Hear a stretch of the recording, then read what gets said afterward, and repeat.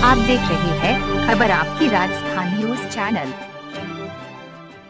झालावाड़ ज़िले के उन्हेल थाना क्षेत्र में बदमाशों द्वारा युवक का अपहरण कर बंधक बनाने का मामला सामने आया है।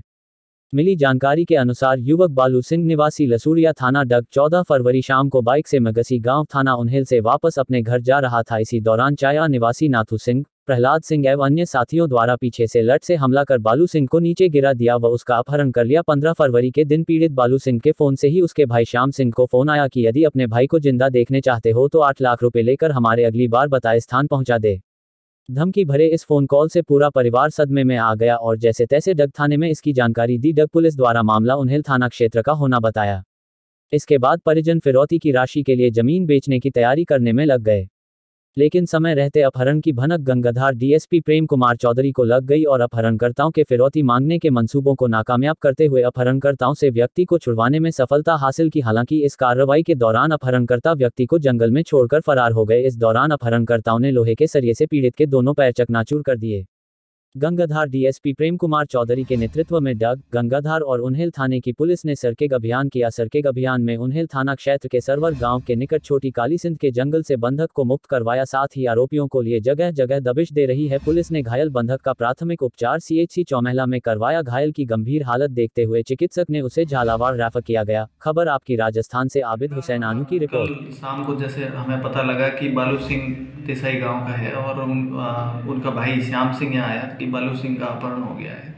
तो हमने हाथों हाथ मुकदमा दर्ज करके और रात में भी सर्च किया और उसमें हालाँकि हमें सफलता नहीं मिली। रात भर हम सर्च करते रहे। सुबह तीनों थानों की टीम बुला के, तीनों थानों की टीमें बुला के सभी एसएचओ के साथ में हमने खुद ने सर्च ऑपरेशन चलाया रेड प्लान और जैसा कि हम, हमारे सामने आया कि ये रंजिश और उसका मामला हो सकता है। तो उस पर चलते हुए हमने दबिश दी जिसमें हमें हमने अप अपहृत व्यक्ति को दस्तियाब करने में सफलता प्राप्त की।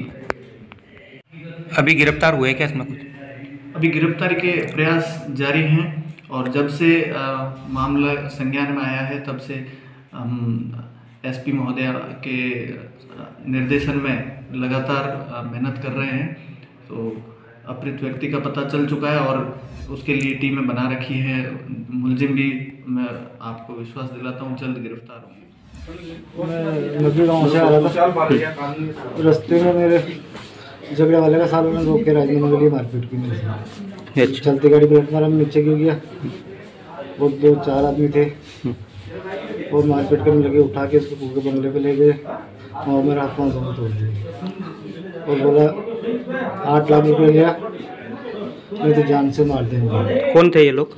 ये लोग चाड़ा नातू सिंह उसका भाई कैलाश सिंह क्या नाम है उसको? भाई का नाम है नातू सिंह उसका भाई। और दो जने और थे उस दो का नाम पता याद नहीं कितने दिन तक आपको बंधक बना के रखा? चौदह तारीख की रात को आठ बजे आठ साढ़े आठ बजे। आज आप कैसे छूटे वहाँ से? आज मुझे ये लोग पुलिस लेकर आई।